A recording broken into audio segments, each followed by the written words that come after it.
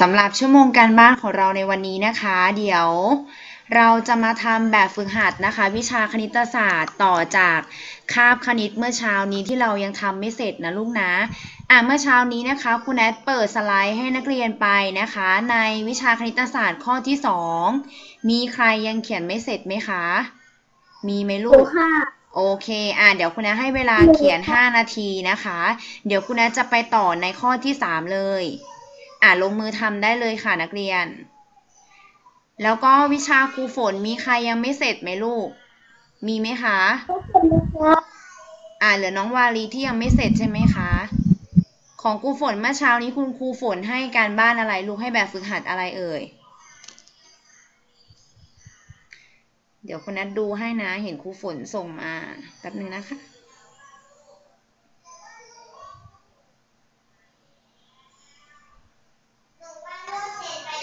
อะครูฝนให้การบ้านเป็นการสนทนาใช่ไหมคะนักเรียน อะเกี่ยวกับการสนทนาถามชื่อเพื่อนใช่ไหมคะทำเสร็จแล้วใช่ไหมลูก เพราะว่าเดี๋ยวสัปดาห์หน้าครูฝนจะเก็บคะแนนใช่ไหมคะ ไม่ใช่สัปดาห์หน้าสี่สัปดาห์นี้ วันพุธใช่ไหมคะ อะวันพุธคาบที่สาม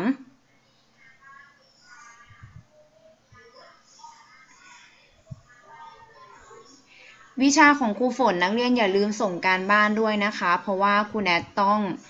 ส่งการบ้านไปให้ครูฝนตรวจอีกครั้งหนึ่งนะลูกนะ ถ้าสมมุติคุณครูเขาเก็บคะแนนนะคะ นักเรียนก็ต้องส่งงานด้วย ไม่งั้นเดี๋ยวไม่มีคะแนนนะลูกอ่าเขียนลงไปเลยค่ะ ข้อที่สองเมื่อเช้านี้นะคะสำหรับใครที่ยังไม่เสร็จนะคะ เหลืออีกสามข้อเนาะเหลืออีกข้อสามข้อสี่แล้วก็ข้อห้านะคะ อะข้อ 2 คุณนให้เวลาอีก 5 นาที เพราะว่าเพื่อนส่วนมากนะคะ เสร็จกันตั้งแต่เมื่อเช้านี้แล้ว เดี๋ยวคุณแอจะขึ้นในสไลด์ที่ 3 ให้นะคะ ถ้าใครทำข้อ 3 ได้นักเรียนทำไปก่อนได้เลยนะคะอะเปิดหนังสือไปในหน้าที่เท่าไหร่เมื่อเช้านี้ ในหน้าที่เท่าไหร่ลูก ในหน้าที่77นะคะ77เมื่อเช้านี้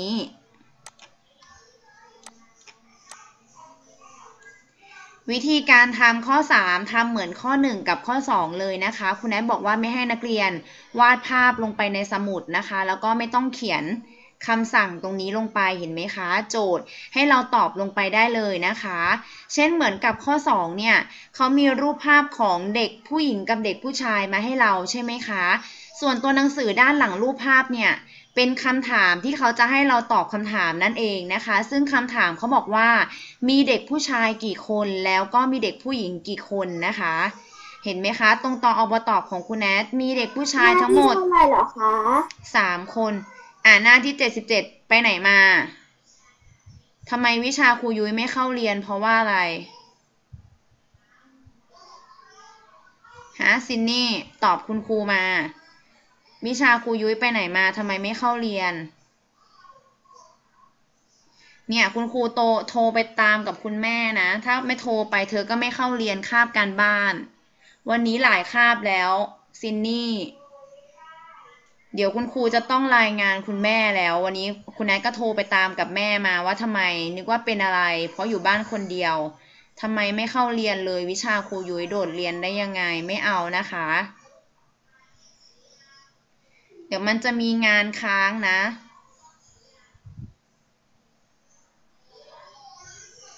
หยิบสมุดคณิตเมื่อเช้านี้ขึ้นมา กับหนังสือเรียนแล้วก็เปิดไปหน้าที่77เสร็จแล้วค่ะเร็วค่ะ หยิบขึ้นมาเลยเมื่อเช้าเธอถึงข้อไหนแล้วซินนี่ ถึงข้อสองหรือยังเมื่อเช้าเนี้ย ถึงแล้วค่ะ แล้วคุณแอทถามทำไมไม่ตอบว่าคาบครูยุ้ยหายไปไหนมาทำไมไม่เข้าเรียนเพราะว่าอะไร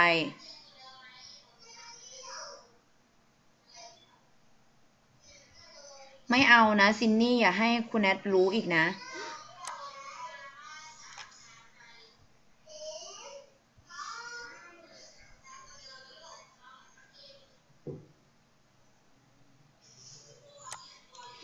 อะเขียนลงไปเลยนะคะ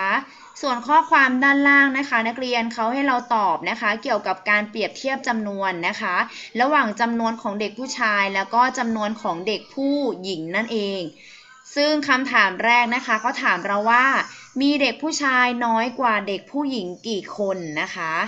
อะคุณแนทก็จะได้คำตอบแล้วนะคะ เมื่อเช้านี้คุณแนทอธิบายไปแล้วรอบหนึ่งว่าจำนวนเด็กผู้ชายนะคะ จะน้อยกว่าเด็กผู้หญิงสองคน เวลาเราเปรียบเทียบทำยังไงลูก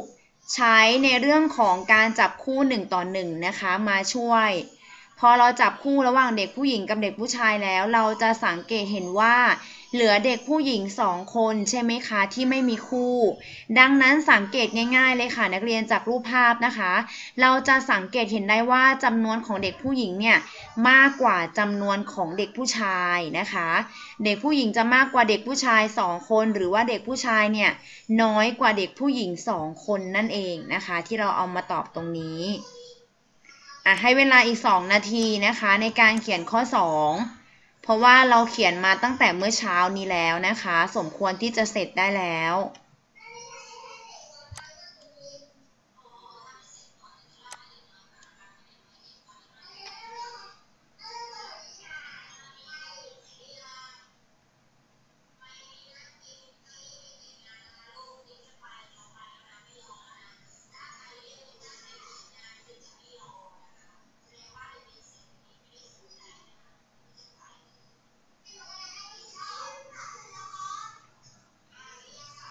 เอานิ้วถึงข้อไหนแล้วลูก ข้อไหนนะ ข้อสองเหรอคะ เสร็จหรือยัง เปิดไมค์เปิดไมค์ก่อนอ๋อนิวลืมเปิดไมค์คุณนายไม่ได้ยินเสียงอ๋อนิวถึงข้อไหนแล้ว เสร็จข้อสองหรือยังลูก ยังค่ะ โอเค อะเอานิ้วเร่งมือนะคะ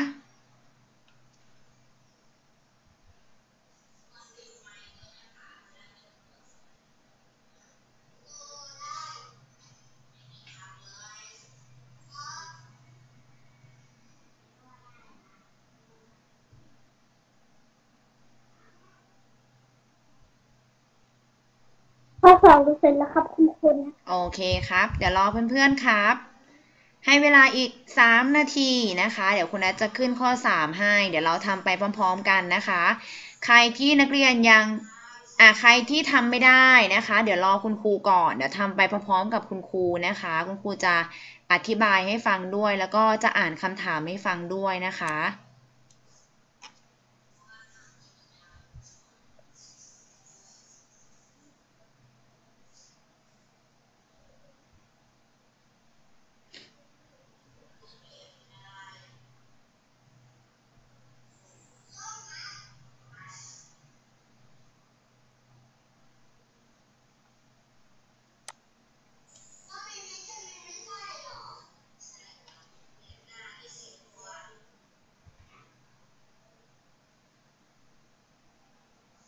เสร็จข้ อสองแล้วค่ะ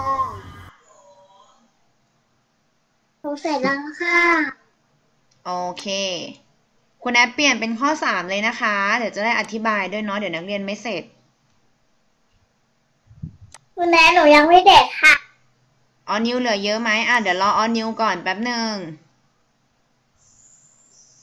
อะออนิวเร่งมือหน่อยลูก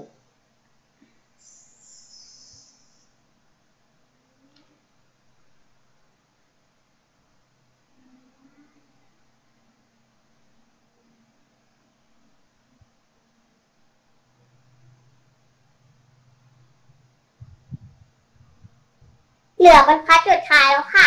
โอเคค่ะ ดีมาก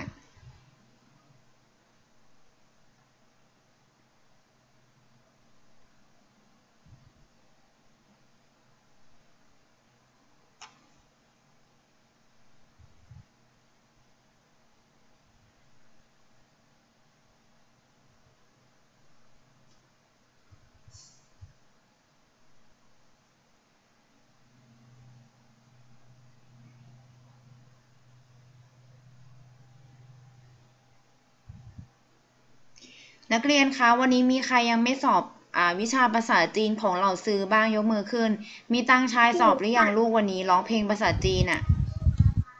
เหลือน้องวาลีอะเดี๋ยวน้องวาลีแจ้งว่าจะอัดคลิปส่งใช่ไหมคะอ๋อโอเค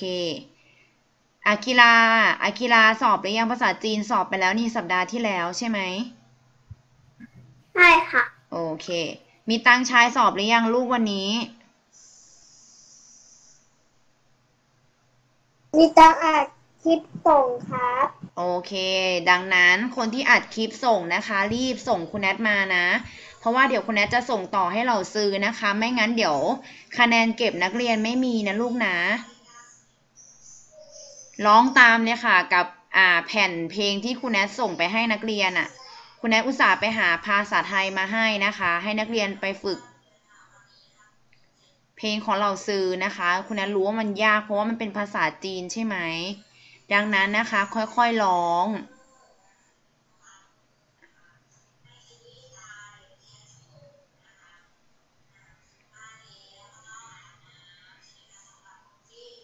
คุณครูค่ะหนูทำข้อสามเสร็จแล้วค่ะ เยี่ยมมากค่ะ อะคุณแอปเปลี่ยนแล้วนะ เอานิ้วเสร็จยัง เสร็จแล้วค่ะ เยี่ยมมาก ต่อมาเป็นข้อสามนะคะ เดี๋ยวสักครู่นะลูก แป๊บหนึ่ง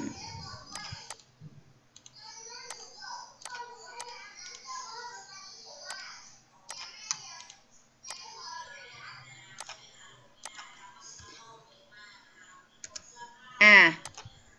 ข้อที่สามนะคะ เขาให้รูปอะไรเรามาบ้างลูก รูปภาพของหมวกใช่ไหมคะ หมวกกับอะไร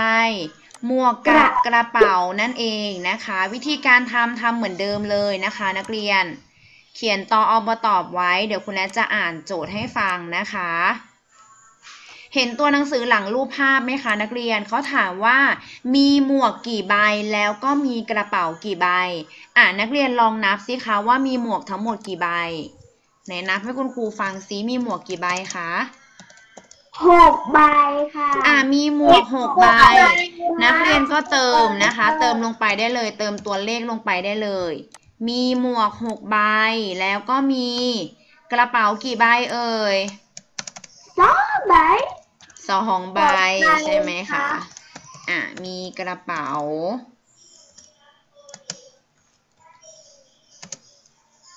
สองใบ จากนั้นนะคะเมื่อเราตอบเขาไปแล้วนะคะว่าจำนวนหมวกเนี่ยมีทั้งหมดกี่ใบ แล้วก็มีจำนวนกระเป๋ากี่ใบนะคะ ส่วนด้านล่างนักเรียนดูข้อความด้านล่างนะคะเขาถามเหมือนเดิมค่ะ นั่นก็คือเขาจะให้เอาจำนวนของหมวกกับจำนวนของกระเป๋านะคะ มาเปรียบเทียบกัน โดยคำถามแรกเขาถามเราว่า มีหมวกมากกว่ากระเป๋ากี่ใบ อะเราจะใช้การจับคู่หนึ่งต่อหนึ่งนะคะมาช่วย โดยการสังเกตจากรูปภาพนะคะ นักเรียน นักเรียนสามารถใช้ดินสอโยงเส้นในหนังสือตัวเองก็ได้นะคะ โยงเส้นเป็นการจับคู่ไว้ ถ้าใครกลัวหลงนะคะอะสมมุติว่าคุณแอทจะจับคู่นะคะ โดยการใช้การจับคู่หนึ่งต่อหนึ่งมาจับคู่ระหว่างจำนวนหมวกกับจำนวนกระเป๋านะคะ จะสังเกตเห็นได้ว่า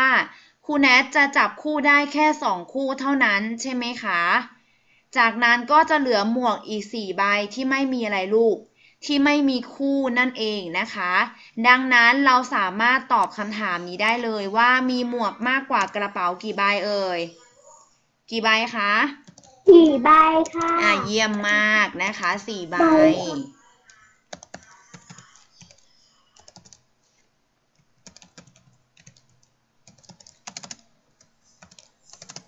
ใบอ่าใครทำไม่ได้ทำตามคุณครูเลยค่ะ ต่อมาคำถามที่สองเขาถามว่า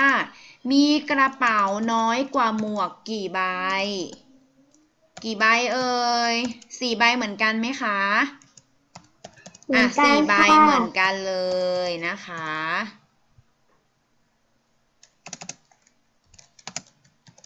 อะเรียบร้อยแค่นี้เอง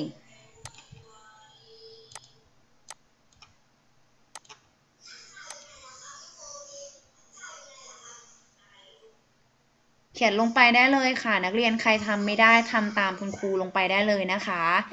ตอนนี้เราถึงข้อสามกันแล้วค่ะเยี่ยมมากค่ะมันตา ถ้ามันตาทำได้มันตาทำข้อสี่ไปเลยค่ะ แบบฝึกหัดเรามีทั้งหมดกี่ข้อเอ่ย มีห้าข้อนะคะ มีห้าข้อ ดังนั้นใครทำข้อสามได้นักเรียนสามารถไปต่อข้อสี่ได้เลยนะคะ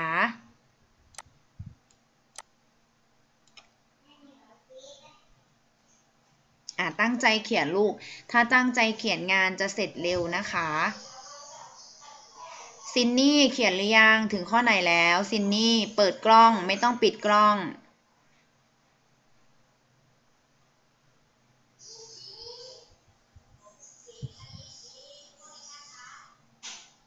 ถึงข้อสามตอนนี้แล้วค่ะอ่าไม่ต้องปิดกล้องนะคะ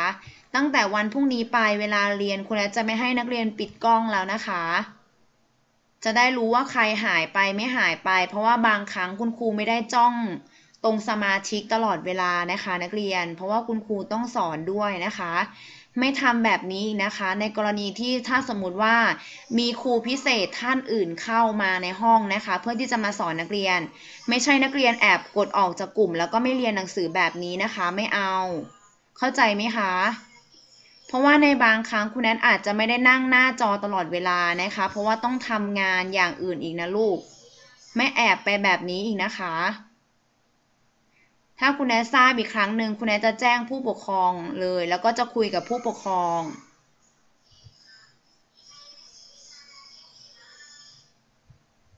หนูเสร็จแล้วค่ะ ดีมากค่ะ วิชาครูเทพมีใครมีงานค้างไหมลูก มีไหมคะ ครูเทพคุณพี่หนูเสร็จแล้วครับ อะครูเทพให้หนูทำอะไร ให้หนูเขียนลงในสมุดใช่ไหมใช่ค่ะแค่อย่างเดียวค่ะ นั่นแหละค่ะสามข้อครับสามข้อสามบรรทัดไม่ใช่สามข้อ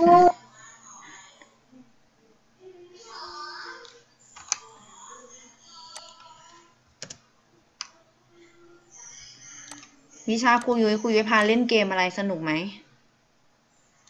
สนุกคืออะไรคะคุณครูเองคุณครูคุณครูคุณครูสอนคำค่ะของคุณครูแนบว่าทุกคนได้คะแนนค่ะเหรอคะได้โบนัสด้วยใช่ไหมใช่ค่ะได้โบนัสเป็นหนึ่งข้อค่ะ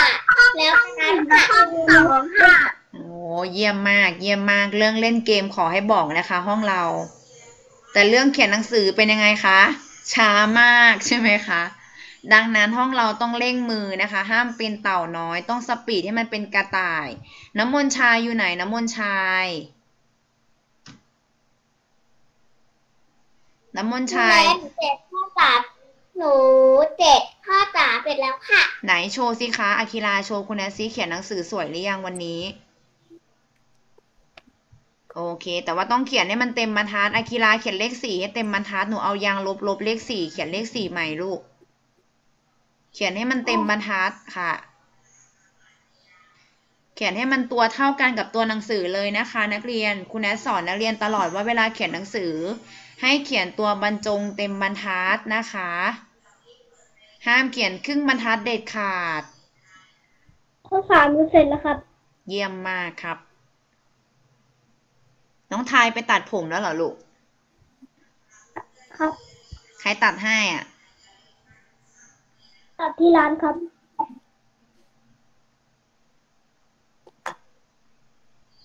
ทายตัดที่ไหนอะ ที่ร้านตัดผมไงมีตังชายก็ผมยาวแล้ว นักเรียนชายห้องเราเริ่มผมยาวมากแล้วนะคะ เพราะว่าเนื่องจาก ร้านตัดผมปิดใช่ไหมคะนักเรียน น่าจะสิ้นเดือนนี้ค่ะ น่าจะเปิดได้ตามปกตินะลูกค่อยไปตัดนะคะ แต่ว่าสระผมบ่อยๆ ผมจะได้สะอาด แต่แม่หนูตัดให้ได้ค่ะ ตอนนี้แม่หนูตัดกับน้องเล็กกับอิงค่ะ ค่ะอะตั้งใจเขียนนะคะ ใครที่ยังไม่เสร็จตั้งใจเขียนลูก เดี๋ยวคุณแอดจะเปลี่ยนสไลด์ไปข้อ 4 ต่อนะคะ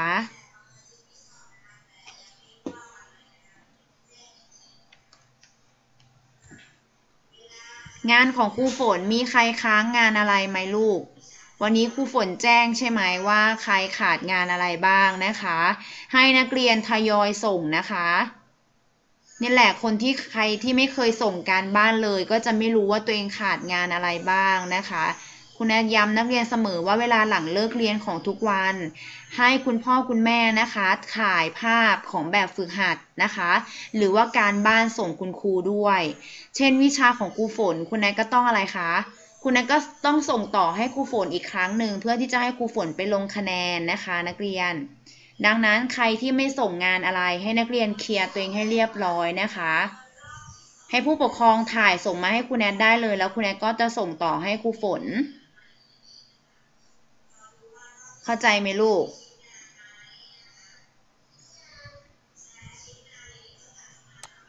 เข้าใจค่ะ อ่า เข้าใจนะคะ หรือถ้าใครไม่มั่นใจว่าตัวเองขาดงานไหนบ้าง สร้างเป็นอัลบั้มมาได้เลยค่ะ นักเรียนวิชาของครูฝนนะคะ วิชาภาษาอังกฤษเดี๋ยวคุณนัทจะส่งให้ครูฝนเองจะได้เช็คว่า นักเรียนทำงานตรงหรือเปล่า หรือว่าขาดงานไหนหรือเปล่านะคะ เนื่องจากวิชาภาษาอังกฤษ ทั้ง 3 ห้องครูฝนเป็นคนสอนใช่ไหมคะ ดังนั้นครูฝนก็จะเป็นคนให้คะแนนนักเรียนนะคะ ไม่ว่าจะเป็นอะคะแนนเก็บนะคะ เรื่องการสอบนะคะ การตัดเกรดวิชาภาษาอังกฤษนะคะครูฝนจะเป็นคนรับผิดชอบนะคะ ดังนั้นส่งงานให้ครบนะลูก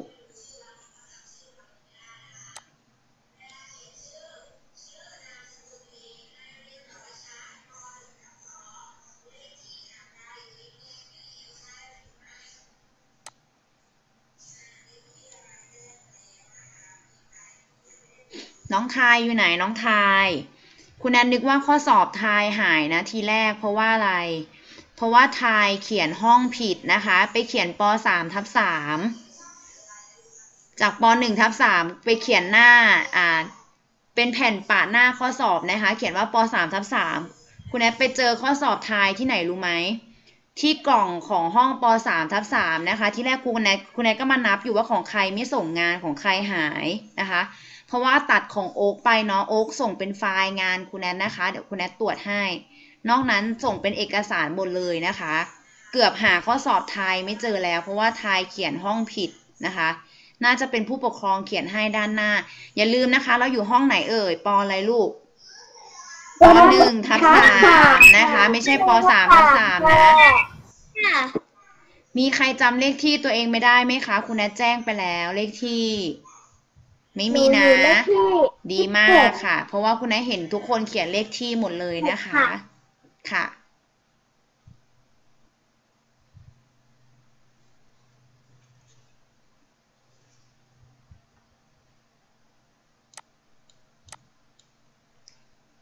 ไหนใครยังไม่เสร็จข้อสามอีกลูก เหลือกี่คนเอ่ย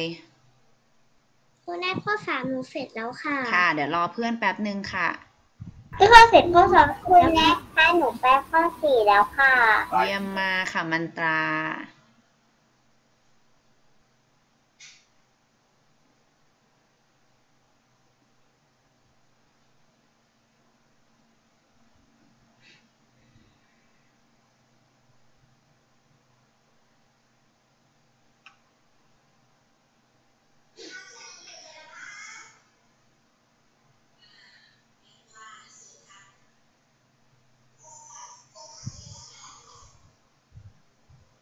ซินนี่ทำงานให้เรียบร้อยนะ เขียนหนังสือสวยๆนะ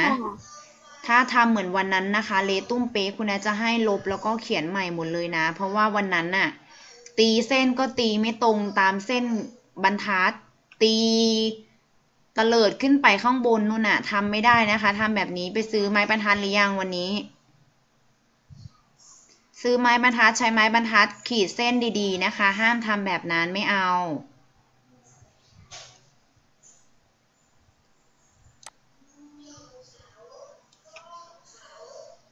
เพราะว่าคุณแอดบ่นทุกวันเลยเรื่องการทำงานของห้องเรานะคะ คนที่ทำเรียบร้อยแล้วคุณแอดก็ชื่นชมนะคะ ขอให้นักเรียนทำเรียบร้อยต่อไป ใครที่รู้ว่าตัวเองยังทำงานไม่เรียบร้อย หรือว่าคุณครูส่งงานให้แก้นะคะ นักเรียนต้องปรับปรุงตัวเองใหม่นะคะ พยายามเขียนหนังสือให้มันสวยๆหน่อย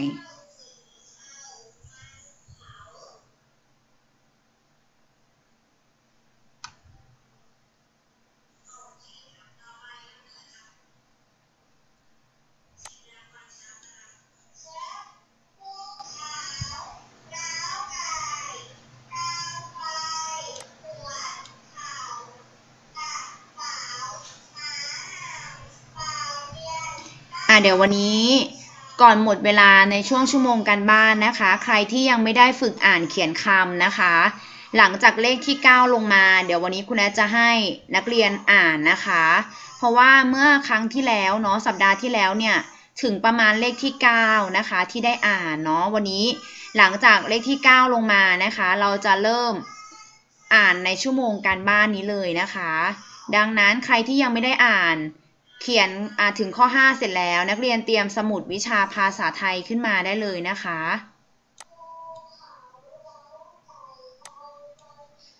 อะมีใครยังไม่เสร็จข้อ 3 ไหมเอ่ย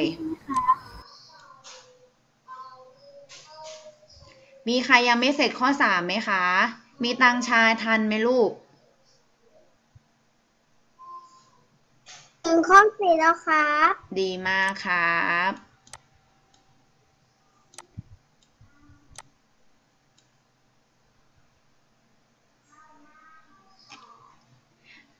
คุณแอดคุณแอดตรวจข้อสอบวิชาวิทยาศาสตร์ คุณแอดให้นักเรียนวาดภาพอะไรนะคะ นักวิทยาศาสตร์ใช่ไหมซึ่งแต่ละคน ซึ่งแต่ละคนวาดได้น่ารักมากเลยนะ บางคนวาดไอสไตน์มาให้คุณแอดก็มีนะคะ แต่ว่าคุณแอดบอกว่าให้วาดภาพในไหน นักวิทยาศาสตร์หรือว่ากระบวนการเรียนรู้แบบวิทยาศาสตร์ในหนังสือเรียนของเราใช่ไหมคะ บางคนวาดเป็นไอสไตน์มาให้เลยนะคะ เป็นผมหยักๆอะ่ะ มีหนวดเยอะๆก็มีนะคะ นักเรียนดีมากเลย แต่ว่าบางคนไม่ระบายสี น้องอิงลืมระบายสีหรือเปล่า วิชาวิทยาศาสตร์ นั่นแหละก็คุณแนทก็เลยหักคะแนนไปสองคะแนน เพราะว่าไม่ระบายสีวันนั้นหนูวาดไอเบิร์ดไอฟาตายค่ะ นั่นแหละคุณแนทเห็นของมอนใหม่แล้ว มอนใหม่วาดเหมือนมากเลยอะ อะคุณแนทเปลี่ยนข้อนะไปข้อสี่แล้วนะคะ มีใครไม่ทันไหม ไม่ตอบแสดงว่าเสร็จหมดทุกคนแล้วนะ อะต่อมาข้อ4ต่อเลยนะคะ นักเรียน ข้อ4เขาให้รูปภาพอะไรเรามาลูก รูปภาพของดอกบัวแล้วก็ดอกกุหลาบใช่ไหมคะ อะใครจะดูในหนังสือเรียนของตัวเองก็ได้นะคะ ในหน้าที่ 77 เนาะ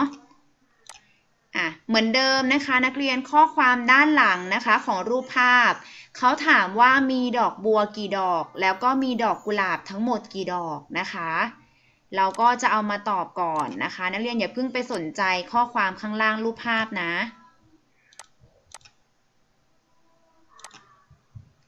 เขียนเลยค่ะตออบตอบ ยกข้อความเมื่อกี้ลงมา มีดอกบัวกี่ดอกเออเนี่ยนับ ดอกบัวให้คุณแอดดูสิคะ มีดอกบัวกี่ดอก ห้าดอกค่ะ อ่าห้าดอกนะคะ เราก็เติมตัวเลขห้าลงไป แล้วก็มีดอกกุหลาบกี่ดอกลูกเจ็ดดอกค่ะ อ่าดอกกุหลาบเจ็ดดอกใช่ไหมคะ นักเรียนก็เติมเลขเจ็ดลงไป อะได้แล้ว ได้จำนวนของดอกบัวแล้วก็ดอกกุหลาบแล้วนะคะ จากนั้นข้อความด้านล่างของรูปภาพ เขาถามเหมือนเดิมนะคะ นักเรียนนั่นก็คือให้นักเรียนเนี่ยมาเปรียบเทียบนะคะ ระหว่างจำนวนของดอกบัวกับจำนวนของดอกกุหลาบใช่ไหมคะอ่าว่าดอกบัวเนี่ยมันมี น้อยกว่าหรือมากกว่าดอกกุหลาบนะคะ ดอกกุหลาบมีมากกว่าหรือว่าน้อยกว่าดอกบัว อะเรามาดูคำถามกันคำถามแรกเขาบอกว่า มีดอกบัวน้อยกว่าดอกกุหลาบกี่ดอก มีดอกบัวน้อยกว่าดอกกุหลาบกี่ดอกอะเมื่อกี้เรานับไปแล้วใช่ไหมลูกว่ามีดอกบัว 5 ดอกนะคะ มีดอกกุหลาบ 7 ดอก เราจะใช้การจับคู่ 1 ต่อ 1 นะคะ เข้ามาช่วยเหมือนเดิมคืออะไรลูก ใครกลัวหลงนะคะ ขีดเส้นไว้ อะพอมาใช้การจับคู่ 1 ต่อ 1 แล้วเราจะสังเกตเห็นว่า เหลือดอกกุหลาบ 2 ดอกใช่ไหมคะ ที่ไม่มีคู่นะคะ หรือว่าไม่มีดอกบัวนั่นเองนะคะ ดังนั้นเราสังเกตง่าย ๆ เลยจากรูปภาพนี้ เราจะเห็นว่าจำนวนของดอกกุหลาบเนี่ยมันมีจำนวนที่มากกว่าดอกบัวนั่นเองใช่ไหมคะอ่าแล้วคำถามเขาบอกว่าดอกบัวน้อยกว่าดอกกุหลาบกี่ดอก ก็แสดงว่าน้อยกว่าดอกกุหลาบสอง ดอกนั่นเองนะคะอ่าเขียนตัวหนังสือลงไปก่อน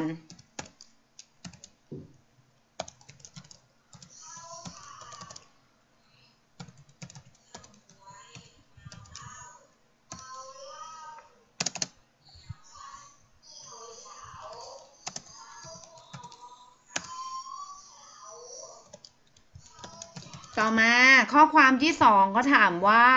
มีดอกกุหลาบมากกว่าดอกบัวกี่ดอก มีดอกกุหลาบมากกว่าดอกบัวกี่ดอกอะจำนวนของดอกกุหลาบมากกว่าดอกบัวกี่ดอกลูก ใครตอบได้บ้าง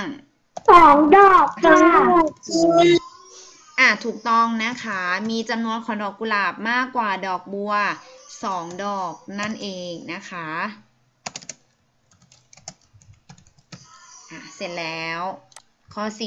4 แล้วก็เหลือข้อ 5 ข้อสุดท้าย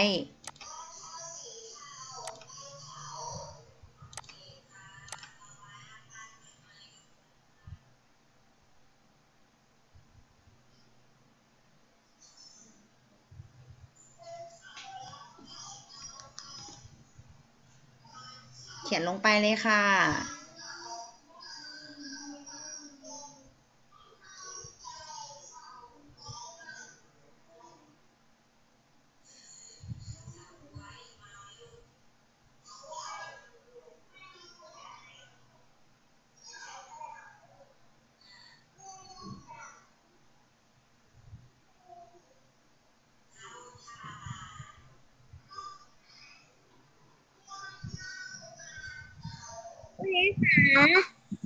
ค่ะคนที่หนูวาดอัลเบิร์ตอัลสไตล์คุณแนทให้คะแนนนะคะ หนูระบายให้สีค่ะด้วยให้คุณได้เห็นแล้วใครที่ตั้งใจวาดนะคะ ตั้งใจระบายสีได้5คะแนนเต็มอยู่แล้วค่ะ ถึงใครวาดมาสวยไม่สวยคุณได้ให้คะแนนหมดลูก แต่ถ้าใครไม่วาดได้ไหมคะ คะแนนไม่ได้นะคะ ได้ศูนย์เลย ได้ไข่พะโล้ไปกินที่บ้านนะคะ ใครส่งมาคุณได้ให้หมดค่ะวาด บางคนวาดอะไรคะวาดนักวิทยาศาสตร์ตัวน้อยๆกำลังถือแว่นขยายนะคะส่องมองสัตว์ก็มีนะคะ เพราะว่ารูปภาพนี้คุณแอนบอกนักเรียนไปแล้วเนาะว่า มันอยู่ในหนังสือเรียนวิชาวิทยาศาสตร์ของเรานะคะ เราเรียนมาแล้วกระบวนการทางวิทยาศาสตร์นะคะ มีตั้งหลายกระบวนการ การสืบเสอบก็มีนะคะ การสังเกต การจัดประเภทนะคะ การรวบรวมข้อมูลมีหมดเลย แล้วก็มีรูปภาพให้นักเรียนวาดตามด้วยนะคะ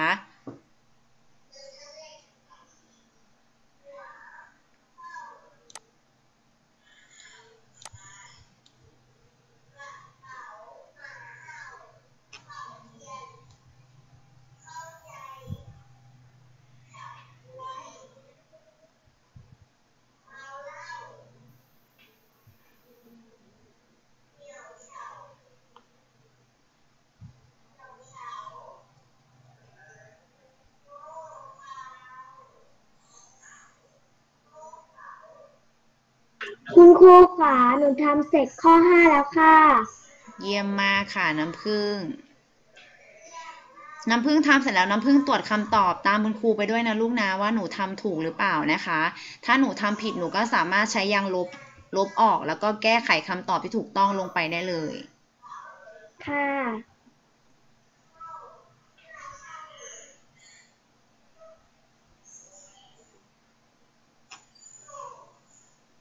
คุณแม่คะหนูเขียนข้อสี่เสร็จแล้วค่ะ ดีมากค่ะมอนไหม คุณครูนะคะหนูเขียนหนูเขียนเสร็จห้าข้อแล้วค่ะ เยี่ยมมากค่ะ มอนไหมไปเอาภาพอันเบิร์ตไอน์สไตน์มาจากไหนลูก หนูไปวาดมาจากไหน คุณคุณครูมาจาก Google เนี่ย เอามาจาก Google เลยเหรอ วาดเองหรือเปล่า หนูวาดเองหรือเปล่า วาดเองค่ะหนูไม่ได้ลอกค่ะโอเคโอเค วาดเองนะคะไม่ได้ลอก โอเคนะครับข้อสี่คือคุณนะครับ โอเคครับเดี๋ยวรอเพื่อนอีกสามนาที ใครยังไม่เสร็จข้อสี่นะคะ ให้เวลาอีกสามนาที เดี๋ยวคุณแอจะขึ้นข้อห้าให้นะคะ เพราะว่าแบบฝึกหัดของเรามีทั้งหมดห้าข้อนะคะ ต่อจากเมื่อเช้านี้ คุณเนทครับ โอเสร็จทั้งหมดห้าข้อแล้วครับ เยี่ยมมากเลยครับ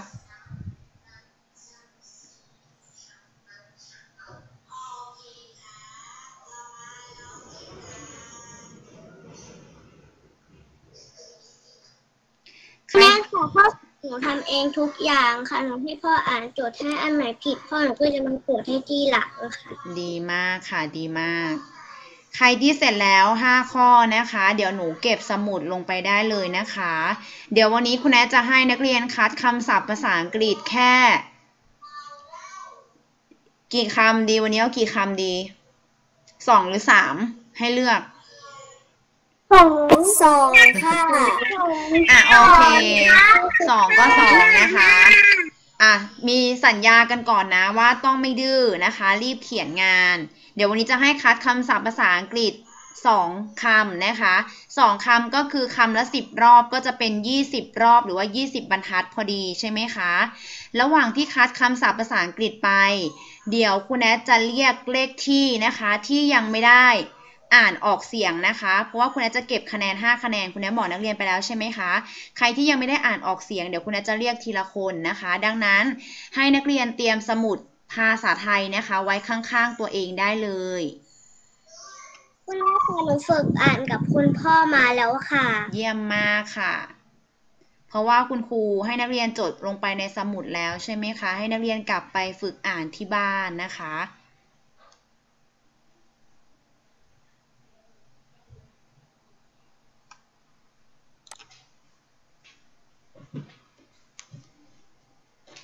คุณแม่หนู หนูเจ็ดข้อสี่แล้วค่ะ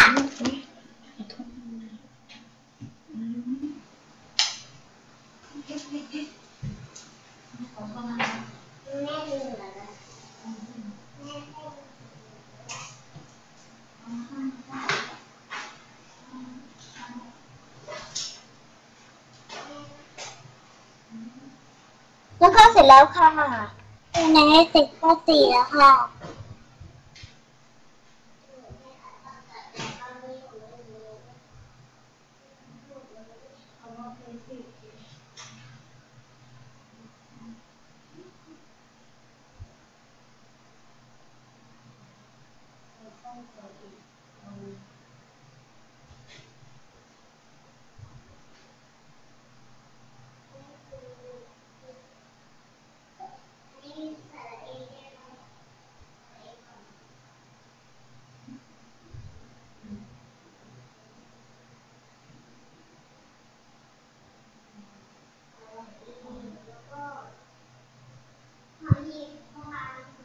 สระเอพอพานพอหนู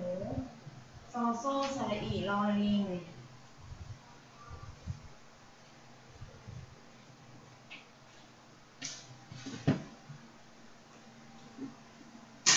เสร็จยังเอ่ยเสร็จแล้วค่ะ เสร็จแล้วค่ะ เสร็จแล้วค่ะ มีใครยังไม่เสร็จไหมคะ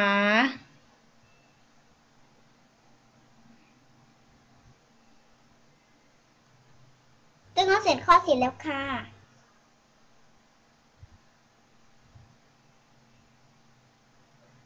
หนูจะเจ็ดข้อสี่แล้วค่ะ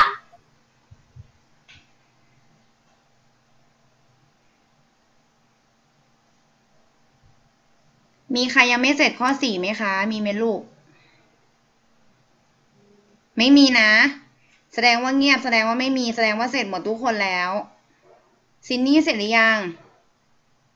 เสร็จแล้วค่ะ ไหนชูให้คุณแอดขึ้น ชูสมุดขึ้นมาเร็ว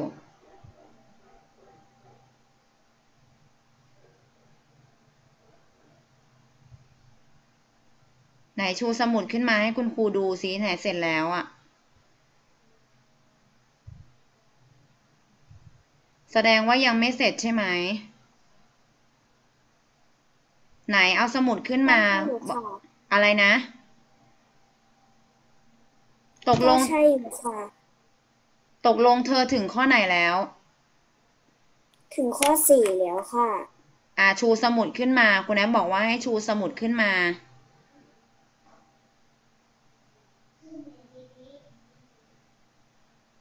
ทำงานให้มันเรียบร้อยนะคะ เขียนสวยๆ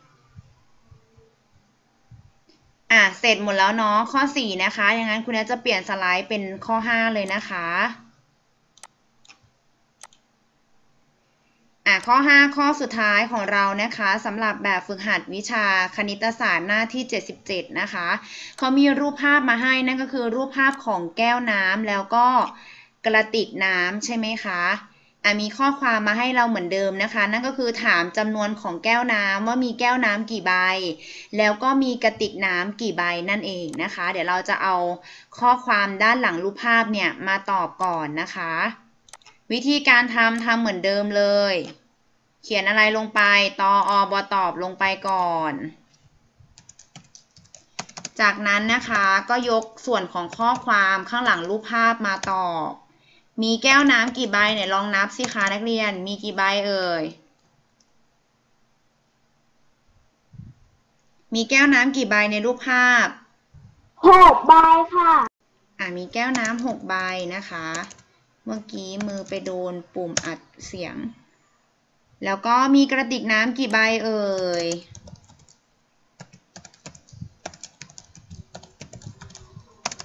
อ่านั ห้าบใบค่ะห้าใบนะคะ เราก็เติมเลขห้าลงไป จากนั้นยกในส่วนข้อความนะคะ ด้านล่างรูปภาพมาตอบ เขาถามว่ามีแก้วน้ำมากกว่ากระติกน้ำกี่ใบนะคะอะมีแก้วน้ำมากกว่ากระติกน้ำ อ่านักเรียนดูนะคะ เมื่อกี้เราทราบจำนวนของแก้วน้ำไปแล้วใช่ไหมลูกว่าแก้วน้ำเนี่ยมีทั้งหมด 6 ใบนะคะ แล้วก็มีกระติกน้ำ5ใบ ดังนั้นเราจะใช้วิธีการเดิมนะคะ นั่นก็คือการจับคู่ 1 ต่อ 1 นั่นเองพอเราจับคู่ 1 ต่อ 1 เสร็จแล้วนะคะ เราจะสังเกตเห็นว่าเหลือแก้ว 1 ใบใช่ไหมคะ ที่มันไม่มีกระติกน้ำคู่ด้วยเลยนะคะ ดังนั้น เราจึงสามารถสรุปได้ว่าจำนวนของแก้วนะคะมากกว่าจำนวนของกระติกน้ำแน่นอนนะคะ นักเรียนสำหรับข้อความนี้เขาถามว่ามีแก้วน้ำมากกว่ากระติกน้ำกี่ใบ ก็ต้องตอบอะไรลูก 1 ใบนั่นเองนะคะ แล้วก็ข้อความด้านล่างก็ถามว่ามีกระติกน้ำน้อยกว่าแก้วกี่ใบก็คืออะไรลูก ก็คือ1ใบเหมือนกันนะคะ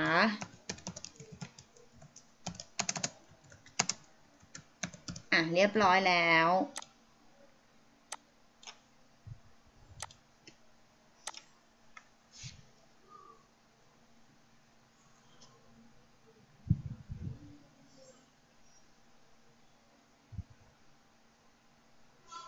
ใครเสร็จ 5 ข้อแล้วนะคะ นักเรียนสามารถเก็บ วิชาคณิตศาสตร์ลงไปได้เลยนะคะ แล้วก็เตรียมสมุดคัดคำศัพท์ภาษาอังกฤษขึ้นมานะลูก แล้วก็สมุดคำศัพท์ภาษาอังกฤษเล่มสีขาวนะคะ เตรียมขึ้นมาได้เลย เพราะว่าเดี๋ยววันนี้คุณแอจะให้นักเรียนคัดทั้งหมด 2คำ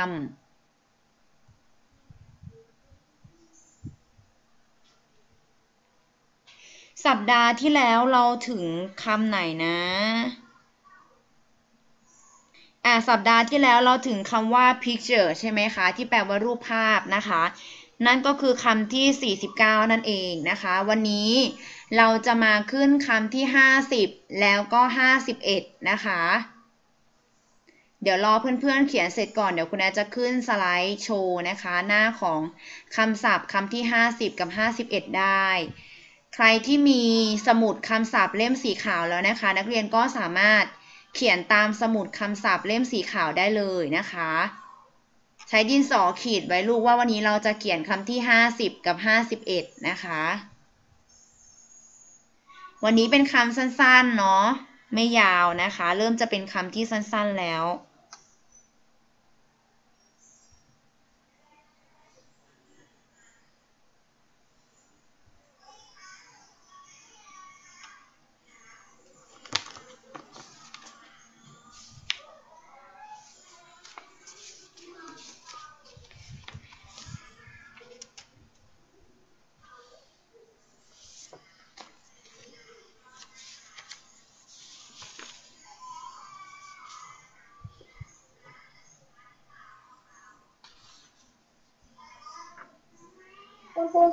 เสร็จแล้วค่ะคำศัพท์หนูก็รอเพื่อนอยู่ค่ะ โอเคค่ะ หนูเอาสมุดภาษาไทยมาอ่านรอคุณครูนะคะ ค่ะ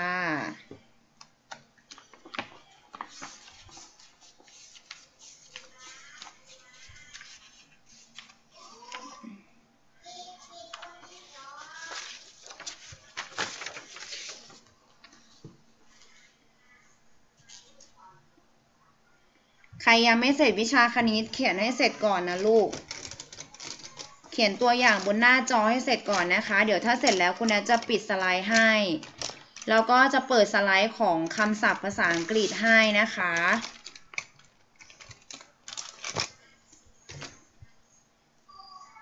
ใครที่มีเล่มสีขาวนักเรียนก็เอาเล่มสีขาวขึ้นมาดูได้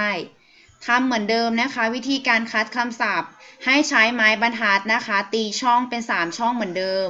ช่องแรกจะเป็นคำศัพท์ภาษาอังกฤษ ช่องที่ 2 เป็นคำอ่าน ช่องที่ 3 เป็นคำแปลนะคะ วันนี้เราจะคัดคำที่ 50 กับ 51 จะเป็นคำว่าโค้ดนะคะ ที่แปลว่าเสื้อโค้ดแล้วก็คำว่าอ่าคำว่า pick up นะคะ pick up แปลว่า หยิบขึ้นมานะคะคำที่ 50 กับ 51 เดี๋ยวรอเพื่อนแป๊บหนึ่งนะคะ เดี๋ยวคุณแอขึ้นสไลด์ให้ มีใครยังไม่เสร็จข้อ 5 ไหมคะอะเดี๋ยวน้องแอลโอเค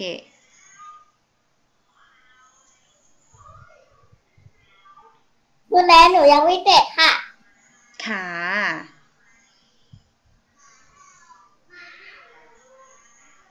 คุณแม่ค่ะหนูยังไม่เสร็จหนูเสร็จแล้วค่ะค่ะแต่หนูอะวันนี้อาริวมาเรียนออนไลน์ไหมลูกวันนี้อาริวมาไหมไม่มานะคะ ไม่มาใช่ไหมธัญทรอยู่ไหน น้ำเหนือ น้ำเหนือค่ะเหนือหนูเสร็จหรือยังลูกเสร็จวิชาคณิตยังเสร็จแล้วค่ะ อ่านน้ำน้ำเหนือเอาสมุดภาษาไทยขึ้นมาค่ะ อ่านได้เลย ระหว่างที่รอเพื่อนๆ อ่าเปิดไมโครโฟนแล้วก็อ่านคำแรกได้เลย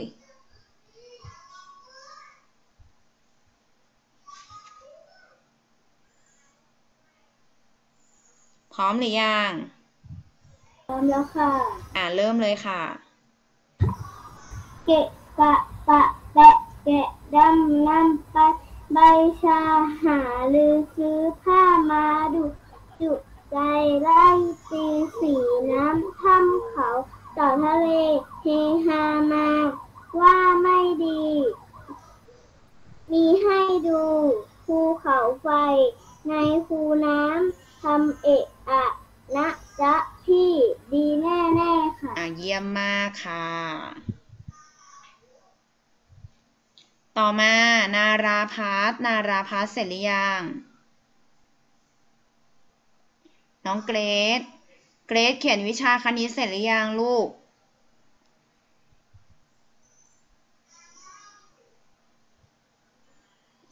อ่าเกรซเปิดไมโครโฟนตอบคุณครูด้วยเกรซเสร็จหรือยังวิชาคณิต ดูก่อนยังอยู่ในห้องนี้หรือเปล่า อันนี้หนูยังไม่เสร็จค่ะ โอเค เดี๋ยวข้ามเกตไปก่อนนะ เดี๋ยวสอบคนอื่นก่อนนะคะ อะสำหรับนักเรียนที่เรียนลิงก์ย้อนหลังด้วยนะคะ ใครที่ไม่สะดวกเรียนสด นักเรียนสามารถอัดเป็นคลิปนะคะวิดีโอส่งมาให้คุณครูได้เลย เพราะว่ามีแล้วนะคะภูเบศก็ส่งมาแล้วภูเบศเรียนคลิปย้อนหลังนะคะ เป็นการอัดคลิปวิดีโอ การสอบเก็บคะแนนอ่านออกเสียงนะคะภูเบศส่งมาแล้วนะคะ มันตาก็ส่งมาแล้วใช่ไหมมันตาก็ส่งมาให้คุณแนนแล้วนะคะ ได้ค่ะ โอเค หลายคนเลยนะคะ นักเรียนที่เรียนคลิปย้อนหลังนะคะ ที่ส่งมาให้คุณแนนแล้วเนาะคุณแนนจะได้กรอกคะแนนลงให้เลยนะคะ เดี๋ยวข้ามาลาพักกันทิชารัตน์ทิชารัตน์ค่ะอะพร้อมไหมพร้อมค่ะ อะอ่านได้เลยค่ะ ไม่บุกไม่บัวเหรอคะ ใบโบกใบบัวอะไรล่ะคะ หน้าไหนที่คุณครูบอกว่าจะเก็บคะแนนหน้าไหน ฝึกอ่านเขียนคำสมุดภาษาไทยเธออยู่ไหน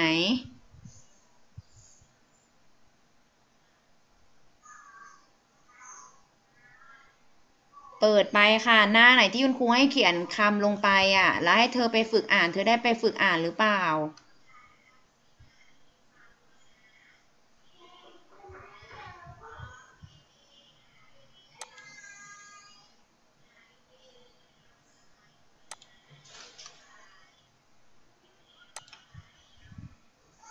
เจอหรือยัง หน้าฝึกเจอแล้วค่ะ อะเริ่มเลยค่ะคุณแนนหนูเสร็จแล้วค่ะ อะซินนี่เริ่มเลยเสร็จแล้วค่ะอะใครเสร็จแล้วไม่ต้องเปิดไมโครโฟนนะคะ เพื่อนกำลังอ่านอยู่เตปะแปะดเอาไม้ปะแปะำปะแปะแกะดำน้ำไป นำไปค่ะ นำไป ใบชา เสือ เสือได้ยังไง หารือ หารือ เสื้อผ้า มาดู มาดูอะไร อ่านยังไงมออามาไม่โทรม้าดูมาดุดออูดูม้าดูต่อมาจูใจอะไรนะ จูใจ